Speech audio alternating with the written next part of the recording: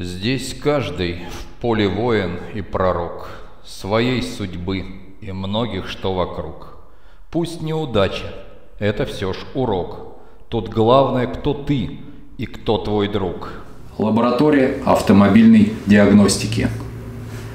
Поможем, подскажем, научим, расскажем. Ну что, доброе утро всем. Наконец-таки у нас наступила осень, пошли дожди, стало холодать, прошли выборы без выборов, ну и так далее. А сегодня я, как всегда, да, как всегда, еду в город Калуга. Вот этот город уже родным стал, я практически туда езжу с завидной пунктуальностью два раза в неделю по разным вопросам. Либо это диагностика в связи с отказами, либо это диагностика перед покупкой. Но до смешного я туда действительно ездить стал очень часто. Город большой, красивый, древний. Ну и вот сейчас я в который раз еду в город Калуга. Смотреть автомобиль Renault T Евро 6. Причем у этих ребят я уже был однажды. Э, они продавали КАМАЗы 5493 штуки. Сейчас они же продают Renault T. Вот еду смотреть, но она там одна, но тем не менее. Вообще, я вам скажу, что машины категории Евро-6 в России ну, практически невозможно эксплуатировать в связи с чем?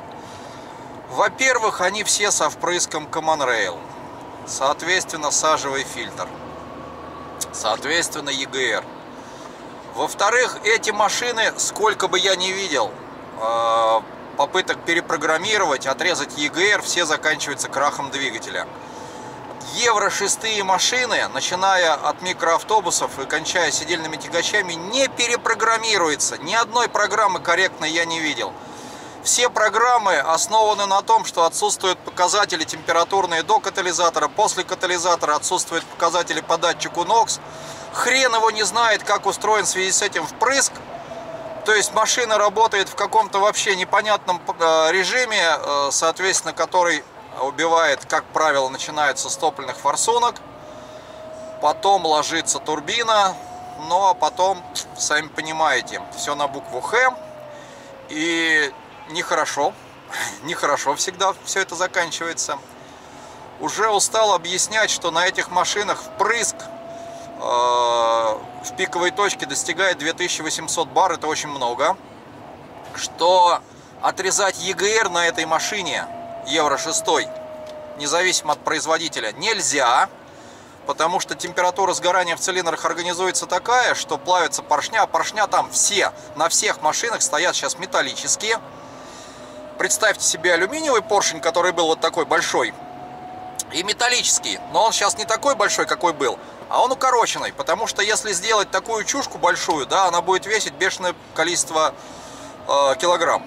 Соответственно, стоят облегченные поршня, металлические из сплава, который э, сможет выдержать такую температуру. Поэтому и не стали ставить алюминиевый, потому что он ну, просто не выдержит. И покрытие на поршне сверху тефлоновое. Так вот, если отрезать ЕГР, как правило, плавится поршня. А на очень многих машинах удалить, допустим, AdBlue на Евро 6 автомобиле невозможно без отключения ЕГР. И я ни одной корректной прошивки не видел, ни разу. Сразу после перепрошивки вырастает расход топлива.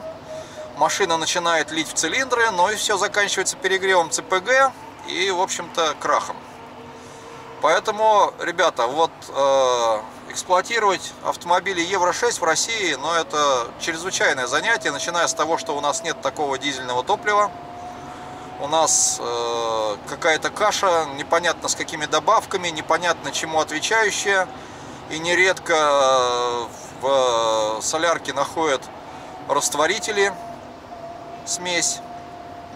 То есть, ну, страшно. Страшно эксплуатировать такие машины. Если на Евро-5 еще, допустим, удается отключить от блю, то на Евро 6, но это я не видел ни одной машины, независимо от того, какой производитель. Итак, едем со мной в Калугу смотреть автомобиль. Простояли почти час в пробке, где-то 50 минут а, под железнодорожным мостом в районе Киевского поселка Киевский, населенный пункт Киевский. ДТП под светофором. Сейчас в нашем ряду, который идет в область, объезд вот этого ДТП идет по встречке, ребята. И стояли мы 50 минут, видите, по навигатору все черное. Вот такая вот картина у нас происходит здесь. Ну, дождик, серое все. Скорее всего, кто-то кого-то под светофором видимо, не заметил. Сейчас доеду, посмотрю, что там произошло. Ну, бывает. Но злые люди из дальнобоя сразу начинают орать, что «А, вот, два дебила встретились, это сила». То есть, вообще от ДТП никто не застрахован, да, люди устают, люди чего-то не видят, и даже самые опытные водители иногда чего-то не замечают, это нормально. Но вот этим вот понторезом за рулем, им кажется, что они-то самые крутые, а что вокруг все идиоты едут. Поэтому они всякий раз вставляют свое слово, говоря о том, что вот, вы-то вот видали, мы-то тут крутизна, а вот эти дебилы, которые столкнулись, они дебилы. Но на самом деле от ДТП никто не застрахован. Ну вот что произошло. Ух, какое ДТП, ё-моё достаточно сильная. Ларгус столкнулся с иномаркой.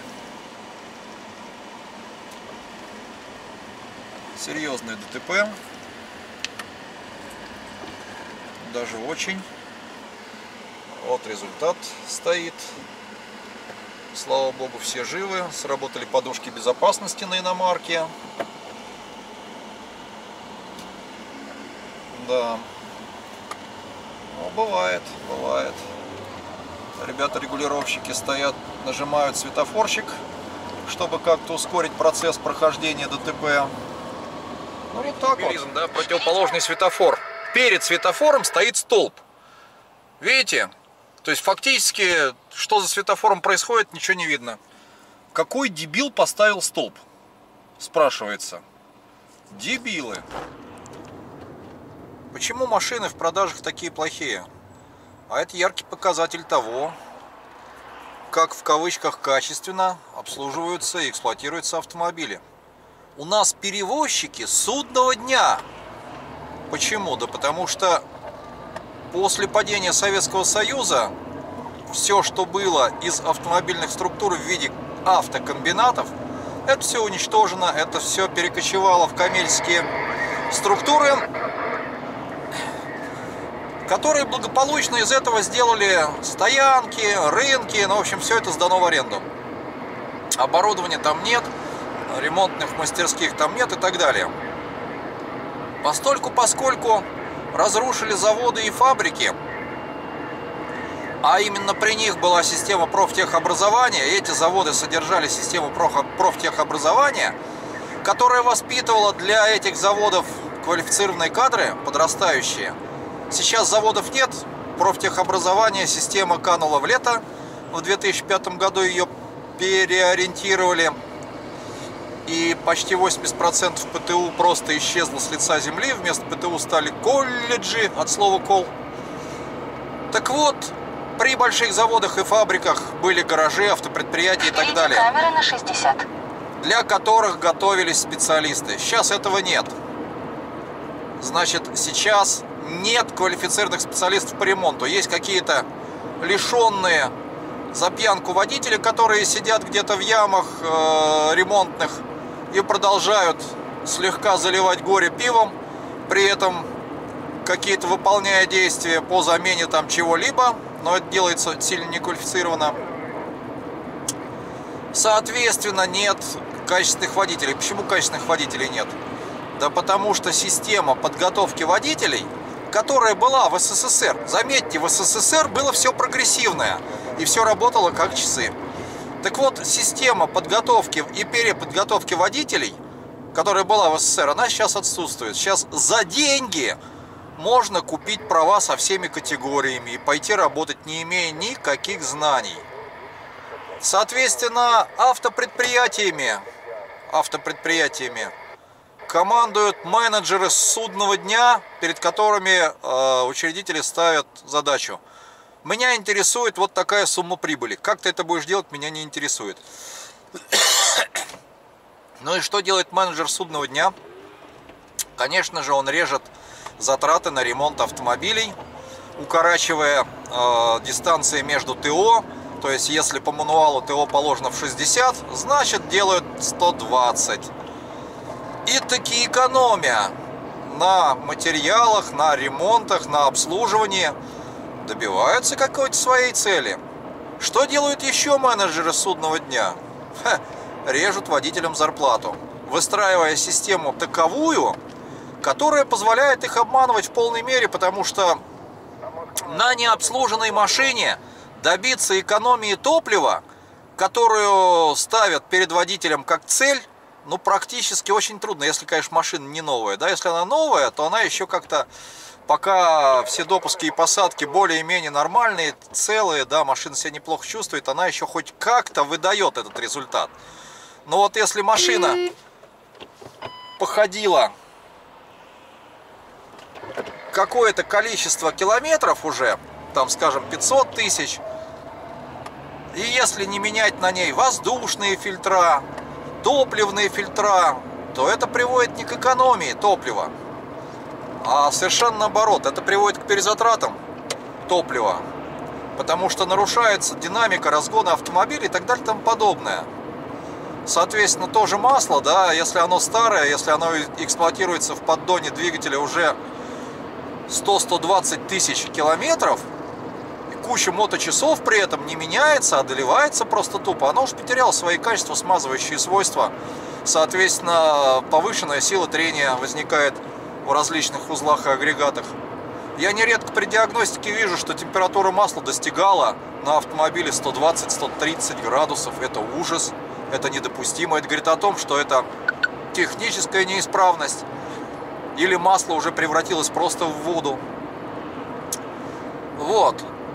Поэтому существуют у нас сейчас перевозчики судного дня, потому что все нацелено на максимальную прибыль.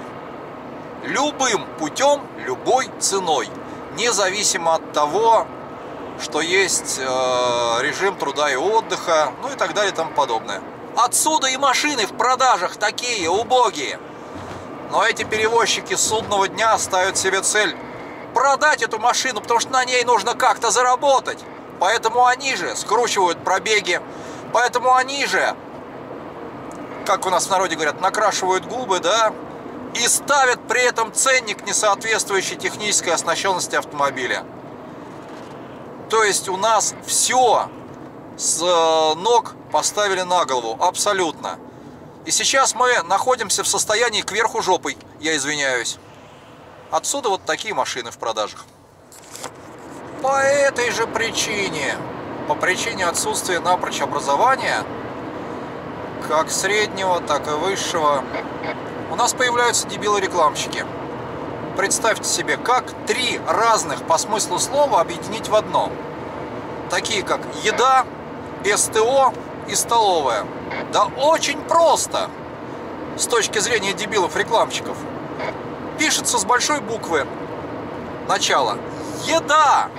Дальше. СТО. Все в одну строчку без пропусков. И дальше. Ловая. Что получилось? Еда 100 ловая. Вот вам объединение вот этих вот бестолковых, необразованных людей, людей в одну группу, которая пытается достичь каких-то, как им кажется, целей. Вот вам безобразие недообразования, ребята. Что, город Калуга, здравствуй. Вот я опять и здесь. Организация, в которую я еду, ни много ни мало, это КАМАЗ-центр Калуга. Так что, ребята, будем посмотреть автомобиль Renault T Евро 6. Ну а самое забавное, что договаривались мы на 12 часов, сейчас 15 минут 12 -го. Машины нет. Машина едет откуда-то, где проходила предпродажная подготовка. Но мне 15 минут подождать как бы, ну, не вопрос. Вот. Ну, лишь бы она приехала через 15 минут, а не через час и не через два. Ну, посмотрим, ребята. Машина 17 -го года. Стоит она 6900, по-моему, если мне память не изменяет. Сейчас посмотрю, мне ссылочку скинули. Так, посмотрим на ссылочку. Так, сейчас момент. Момент. Так, значит, машина. Да, 17 -го года 6800. С НДС заявлено 550, о, 505 945 километров. Колесная формула 4 на 2. Вообще на, на фотке смотрится красиво. Но по факту посмотрим, что по факту, когда приедет, если приедет. Смотрите, сколько условностей. Пойду пока на второй этаж попью кофе. Говорят, у них кофемашина здесь есть на втором этаже. С зданием в 40 минут пришел автомобильчик помытый. Дверь мятая. Повреждения с правой стороны. Я уж не знаю, где он там ездил. Стекло 16 -го года с правой стороны. Так, лобовое стекло родное, тоже 16 -го года. С левой стороны 16 -го прошивка 460. Левая передняя. Расход по внутренней боковой дорожке. Диски уже под выброс передние тормозные. С левой стороны кабина в точечной сварке. Резина с левой стороны. Остаток протектора достаточно приличный.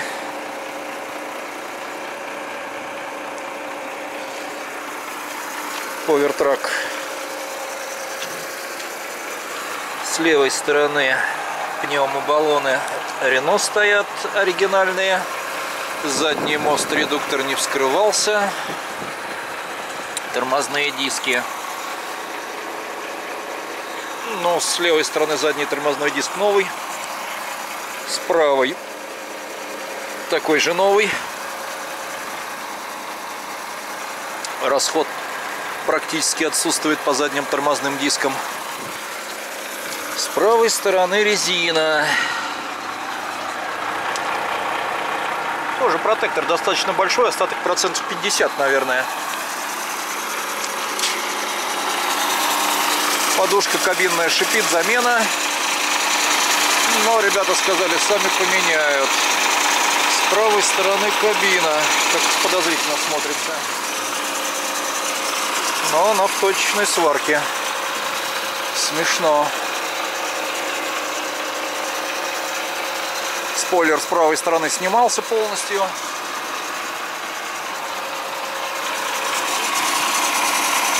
Не валялась ли она на боку? Вопрос такой.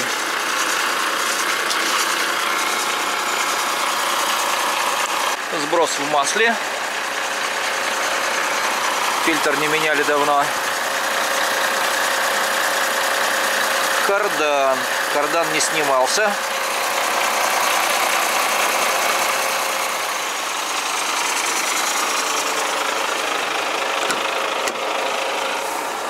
Машину только что отмыли. Двери с правой стороны. Дверь не снималась. Инструментальная ниша. Инструментальная ниша. Отчетливо видно, что она демонтировалась. А повреждение получается с правой стороны. Все, и дверь повреждена. Здесь уже шансовый инструмент. Здесь лежит. Интересно. Подножка с правой стороны. А вот подножка, по-моему, целая. Да, подножка целая. Вин номер хорошо читается. 215.03. С левой стороны дверные петли не снимались. Подножка целая аттестация тахографа 20.01.20 20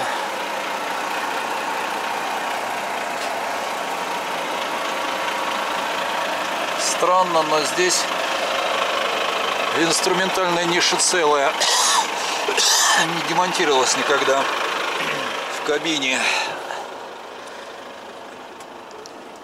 Чехольчик выгрузан. 505 964 километра. Это мы сейчас посмотрим.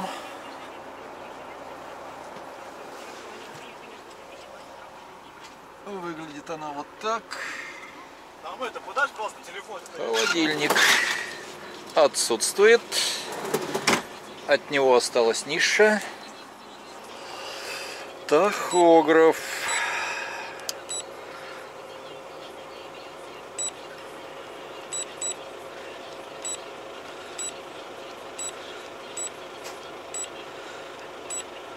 Технические данные, да? Принтер. Печать началась.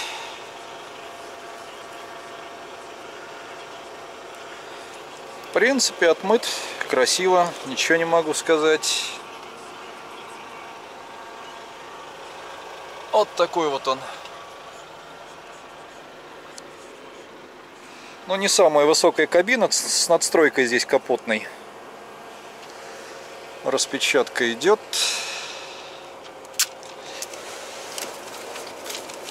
Смотрим, что там.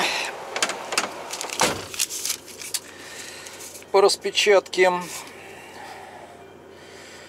По распечатке там полная туфтень получается. 31.06.20.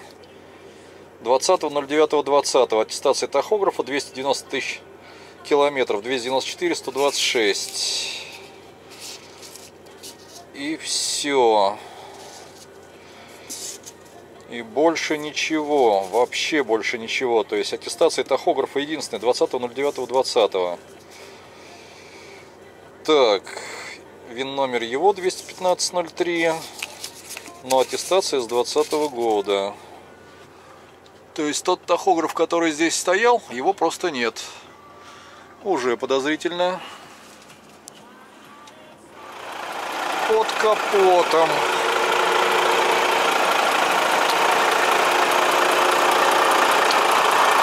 В принципе, выглядит как все остальные. Кабина на пневмоподвеске.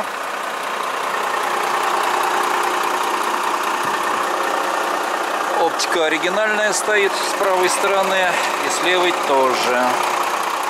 Маслозаливная крышечка.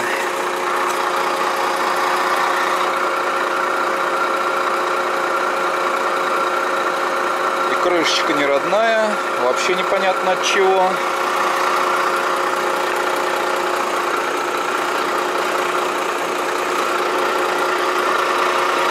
Машина горячая, не сапунит пока что. А крышка не с него явно. У него тут другая должна быть.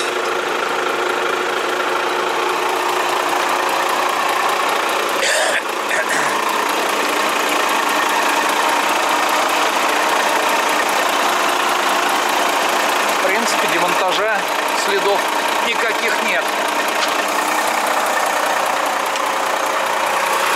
Внизу. О, сапуна масло фигачит. Ну, это с маслозаливной горловины. И она перемотана вообще изолентой. И хомут какой-то висит. Поэтому и крышка не от него. Забавно.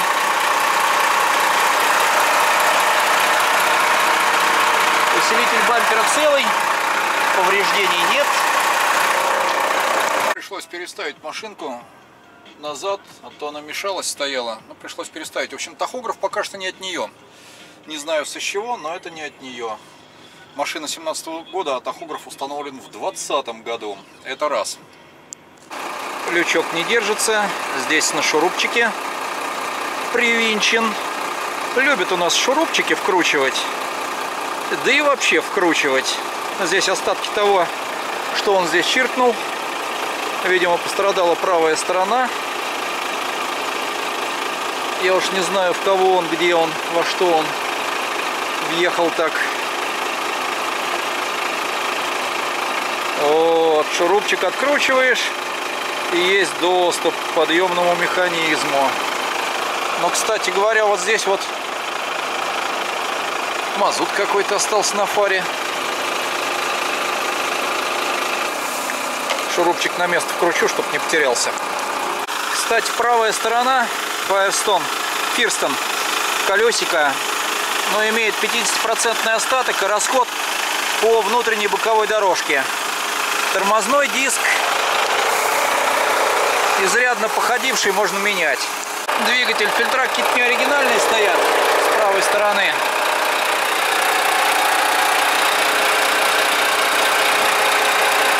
Здесь ничего не менялось, двухлистовая передняя рессора. С левой стороны двигатель D11, К2L.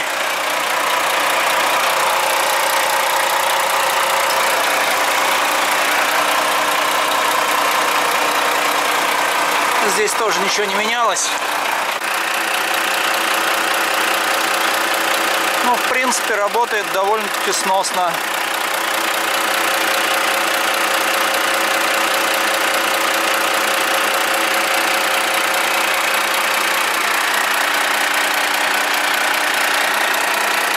Турбина чистая.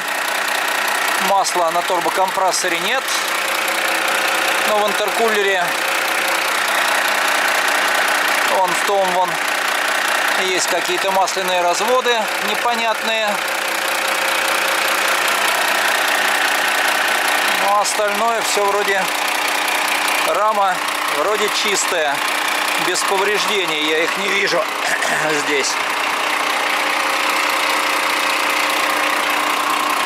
Ну и с левой стороны рама тоже вроде чистая.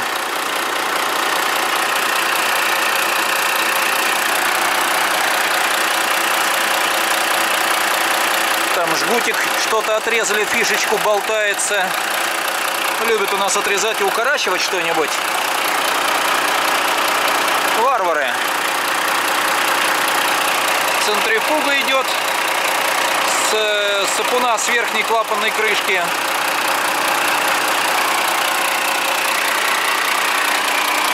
Опять же мятый с правой стороны катализатор. С правой стороны бак мятый. Интересная была картина. И крылья тоже с правой стороны пластиковые мятые. А дверь, низ вообще не от него, это с разборки. Дверь вот так вот мятая полностью. Это очень хорошо видно. Ну и спойлер вот этот вот, его правили, делали, на нем вмятины, его снимали. Это тоже очень хорошо видно. Просто замечательно. Ну что для начала? Замена передних тормозных дисков оба вместе с колодками соответственно. Замена патрубка масла заливной горловины. Там стоит имитация замотанная просто изолентой. Э, ну, наверное, ремонт правой двери сделать нужно по-нормальному. Замена подкабинной подушки. Машина все-таки с правой стороны битая куда-то. Ну и сейчас посмотрим, что тут остальное. Что тут есть. Пока ничего не могу сказать. Напряжение у нас 29,1, но аккумуляторы не сильно Посмотрим, что дальше. И пришла она откуда-то издалека, 5826 километров прошла, пока до сюда доехала. Уж не знаю, что это было. Сейчас поглядим. Плюс отсутствует холодильник в машине, тоже большой минус. Кто не вдавался в подробности такой рекламы. Счастливого пути! И следы такие, типа, уходите, ребята, отсюда, уходите. Что? Первый двигатель. Диагностика. Смотрим, что там. Диагностика. Что там с ошибками были? Какие? И какие есть? Низкий уровень масла. Отсутствует информация под типе. Один раз. Слишком низкий уровень охлаждающей жидкости. Отсутствует информация под типе. Тоже один раз. Когда это было? 05.09.22, зашибись. 06.09.22, то есть масло здесь не доливают. Все равно продавать. Ну ладно. Блок управления двигателем 215.03. Его стоит моточасы двигателя 11 254 моточаса. 505 964, но 506 тысяч пробега не сильно соответствует, я бы сказал. Эксплуатационные данные. Температура охлаждающей жидкости.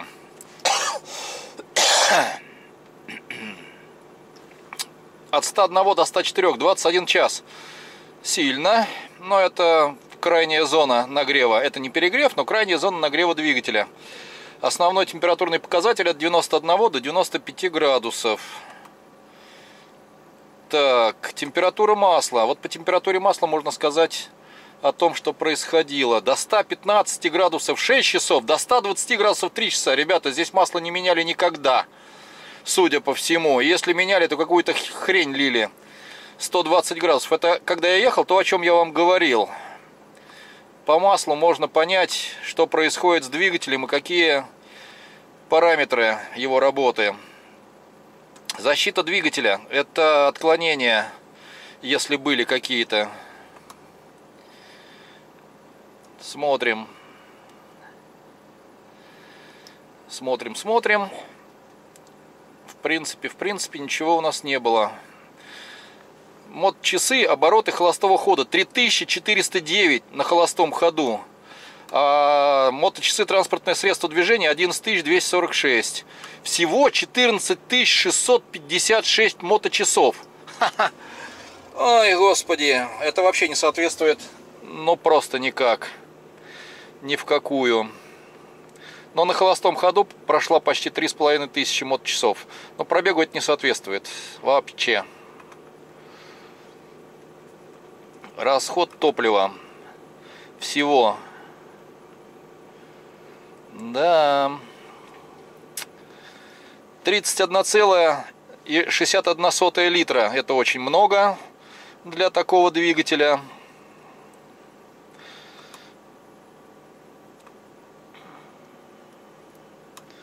Запись данных системы снижения токсичности. Счетчик регенерации.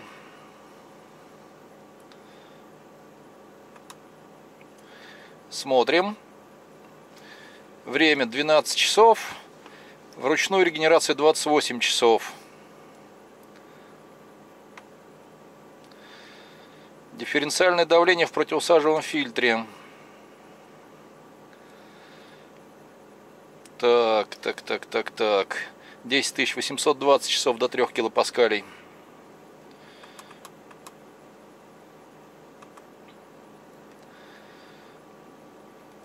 Давление масла. Давление масла. До 5 бар 4034 часа основной показатель. До 7 бар и сброс 34 часа. Редукционный клапан масляного насоса работает нормально. Единственное, что температура масла была вообще никакая. Очень большая скорость транспортного средства.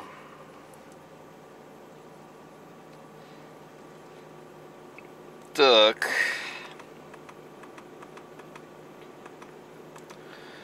О, машина отвязана до 100, от 123 до 130 тысяч километров в час 1092 часа. От 130 километров в час 15 часов. Но это издевательство. Это вам не гонки с этого рая не выйдет, как говорится, ничего. Вот вам и эксплуатанты с судного дня. Ой, господи. Измеряемые параметры, диагностика, выбор параметров. Смотрим. Кстати, двигатель стоит Евро 5, а не Евро 6. Забыл сказать. Пробег на круиз-контроле 130 373 километра. Общее количество израсходного топлива на круизе 37 197 литров. Уровень масла 100%. Счетчик пройденного расстояния 505 964 километра. Ну, в общем, все понятно с этим автомобильчиком. Расход топлива за поездку. Так, так, так. Топливо в движении. Время работы двигателя. Общее количество. Угу. Э, пробег при движении на высшей передаче, ну и так далее. Расход топлива 1,7 литров в час. Многовато будет.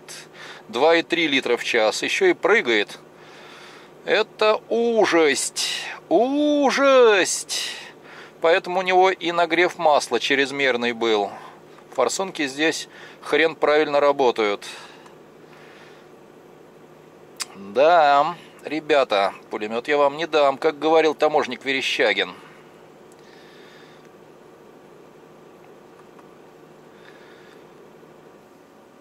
Балансировка цилиндров. Второй цилиндр минус 10, первый цилиндр 0, второй минус 10, третий минус 17, четвертый минус 6, пятый 41 в плюсе.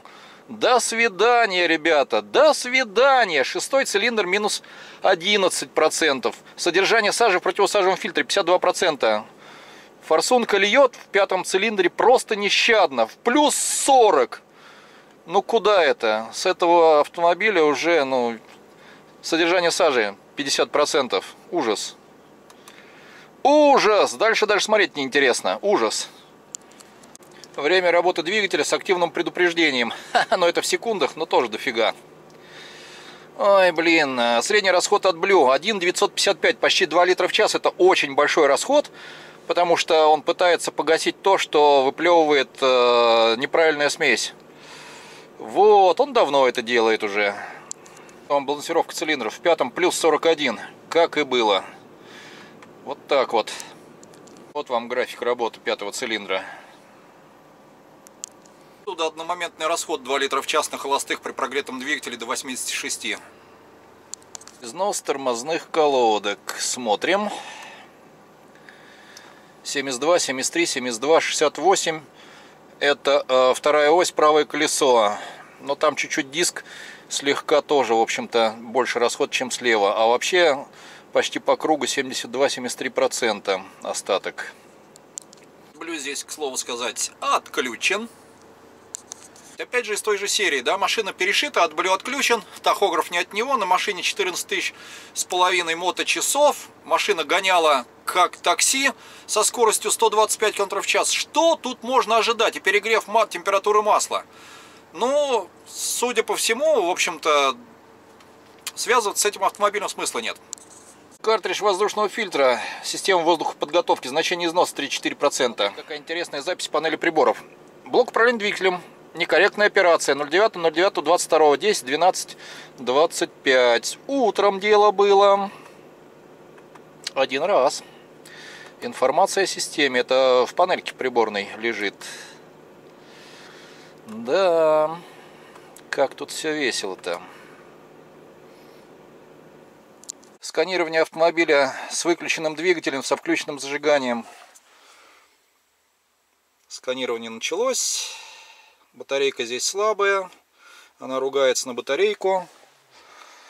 Да, пошло-поехало. В общем, много геморрой с этой машиной. Машину сильно не любили. И при такой температуре масла ожидать хороших результатов, при такой температуре эксплуатации масла, и при, такой, при таком скоростном режиме э, эксплуатации автомобиля ожидать хороших результатов от этой машины смысла нет. Только приехал, зашел, менеджер говорит, а вам э, ваш клиент не говорил, что вот у нас еще ман есть, что может быть ман посмотреть? Я сразу напрягся, потому что менеджеры обычно так просто не предлагают. Скорее всего знают, что машина это не очень. Но теперь я знаю, что менеджер действительно знает, что машина это не очень. Ну вот вам яркий пример эксплуатанта судного дня. Машину эксплуатировали, что называется, не вкладывая ни черта, все на шурупчиках, на изоленте, гоняли как на гонках, машина перепрограммированная, и не, не, утруд, не утруждались что-то ремонтировать, там форсунки какие-то. А зачем? Нафиг не нужно. И в принципе подход приблизительно у всех такой. Единственное, конечно, машина стоит по низу рынка, вот, но с этим низом рынка большого смысла. То есть сюда вкладывать надо где-то 1800. И результатов хороших после такой эксплуатации, я думаю, от двигателя ожидать не придется. А, я бы, если бы брал эту машину, я бы вскрыл поддон, посмотрел бы состояние вкладышей коренных шатунных, потому что уж больно большая температура масла. Э, если масло не меняли часто, что скорее всего похоже было, то можно ожидать чего угодно. Ну а на сегодня все, ребята. Вот такие вот эксплуатанты судного дня. Ну а техцентру КАМАЗ Калуга спасибо. В принципе, есть у них менеджер такой, ну приятно поговорить с техническими знаниями. Хотя молодой, но достаточно так э, хорошо и корректно общается. Мне очень нравится с ним разговаривать. Я его уже не первый раз вижу. Вот. И он, э, ну, вполне такой, скажем так, э, человек, который не пытается что-то скрыть, где-то обмануть. Говорит то, что знает про машину. Но то, что не знает, ну откуда они могут, допустим, сделать диагностику, если они эту машину видят второй раз в жизни. Соответственно, про эту машину это я им рассказал, что с ней происходит. А до этого они, ну, только догадывались о том, что это не очень хорошо. ну, вот так вот. Ну, а на сегодня все. Всего доброго. Спасибо за внимание.